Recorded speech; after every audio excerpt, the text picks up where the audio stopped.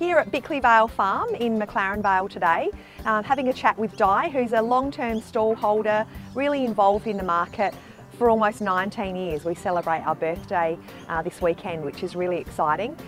Stepped out of the car to the most beautiful smells. The property is just amazing. There's so much to, I'm looking forward to learning lots about what Di brings to the market and why she keeps coming 19 years on. Yeah. We're here on Hunt Road, so we're literally yes. a five minute drive from the market. Right. Um, yeah. Tell us a little bit more about the, the size of the property, the property and what else have you got The here? property, I feel incredibly fortunate and blessed to be on this property. My parents bought the property, it was a dairy farm back in 1968. Once the cows were off the property, it started revegetating itself. There's a wonderful creek, the Breakneck Creek runs through over there. And with the market just down the road, it became logical and sensible to me to make a little market garden. So we've got corn, yes. all sorts of things. What yes. what will yeah. people expect to see? Obviously, your seedlings are there all yeah. the time. Yeah. Um, what what sort well, of my specialty is salad greens because I feel they're they I, I started on those because they're an intensive crop doesn't need a huge area. So the salad greens are all year round for me, and then we supplement with, with other seasonal crops as, as, they come through. It's a good season, you'll have mm. lots of corn and, yeah. and whatever. That's yeah. really great. Yeah. That's the thing of farming, it, it, you never count your chickens before no, they hatch either. Right. so you were saying, Di, that you started very early on, so mm. 19 years. Next week we'll celebrate yes. our birthday and head into our 20th year of trading, and you've been a part of that almost right from the very beginning. Yeah. So it was a business incubator for Absolutely. you to start what you're Absolutely. doing here at Bickleigh Vale Farm. Um, 19 years on, did you imagine when you started out rolled into the Alma car park that you'd still be doing it. You've got a very loyal following of people that um, come to you for their seedlings and growing advice and if they've got it, I know my father recently got some great tips from oh. you with growing his um, growing his tomatoes. Oh, so yeah, it's really no, nice to have that wealth of knowledge in the market that you love to share. Over the years, being able to witness, I guess, the growth of gardeners, people finding the huge benefits that they're to be had through growing their own food. Mm. And, and, that, of course, increased dramatically, wonderfully through the beginning of COVID. Seedlings became like the toilet paper. Mm. you couldn't, yeah. you, we were absolutely. There was people out. hoarding toilet paper yeah. and hoarding seedlings. I, they, if they'd run out of food, they certainly weren't yeah. going to have the, the results so of their work. It was a huge time. It was a boom time. Passionate times of the market. That truly, when, when customers come back, they might have been a young couple and they went off tentatively with their, with their box of seedling. And a few weeks later, I come back and they've just picked their first broccoli or their first yes. tomato or their, yeah. the excitement yeah. and the passion that mm. people feel is, is, is just incredible. You'd have lots of customers that would have grown up at the market and you would see yes. them, I guess, as smaller children and they're yeah. coming back perhaps yeah. with their own families. Because the, the regularity of the market, the weekends come around so quickly. Mm. My stock is low in the sense of because it's turning over the whole time.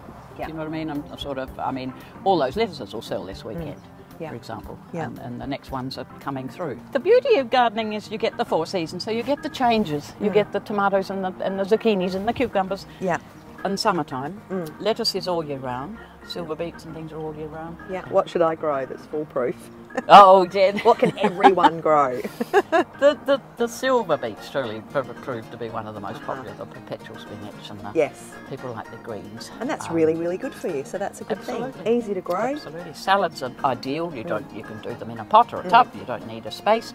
Um, and then to be able to pick your fresh leaves time and again. People mm. say how wonderful it is yeah. just to pick fresh leaves. Big. So what should people be thinking about planting or preparing and, and getting ready to plant well, now? Well, it's been such an incredible summer for gardeners. Mm. We get a little bit of heat and then it gets cool again. Yeah. And, and, we're in a cool spell now, so it won't be long and people will be looking for the broccolis and collies and kales. Yeah. They can all start to go in mm. And you'll have plenty of those available at the market for people to come and yes, hopefully get the advice on how to grow it, how to prepare yeah. their soil before, because it's not just a matter of, I guess, shoving it in the ground. You want to do a little bit of work to prepare your garden you bed. A better and, result. Mm, the yeah. more you put in, the better the result. A little bit of compost and fertiliser. And so, if I buy some seedlings from you at the market, Di, do you have time at the market to That's have a chat to me and market, Jenny. the beauty really of the market. Is. Many do put a lot of thought and planning into mm. what they're doing. It's a, it's a big project basically. I mix all my own potting mix. Because I'm certified organic, all your inputs need to be certified organic. We had SA composters at the market in those days, he had the stall there. Um, so I started experimenting with their fine compost and still doing it. Yeah. Still make my own mix. Fantastic. So, and the fertiliser is the key. I have to bring it down from Queensland, but it's a certified organic fertiliser that that is really effective. Time and again people sort of seem to make comment that they appreciate the organic certification of the seedlings. We also grow things in what you can see in little reusable pots, the jiffy pots. Um, they really love those because the whole plant then just goes Ah, in. okay. Can I pick one up? Yeah, have a look. yeah, take a little, Oh, little look at parsley. Yeah. Yeah, So that just and there's just, no there's no transplant shock at all to the plant. They just it just and no waste. That's fantastic. Mm. And that's what more people are switching into the don't want plastic to take No, home now. that's they, right. They really That's are a- seeking out the um, environmentally friendly alternatives. Yeah. So we've had a great visit here at Bickleigh Vale Farm today. I've learnt so much from Di. Beautiful property to visit. This is where it all starts, the germination process of these little seedlings that you'll find at the Willunga Farmers Market every Saturday. We're open from 8am until 12 noon. You'll find Di across in the recreation park. She's looking forward to sharing all of her great knowledge with you. So come and buy some seedlings. We hope to see you at the Willunga Farmers Market this Saturday.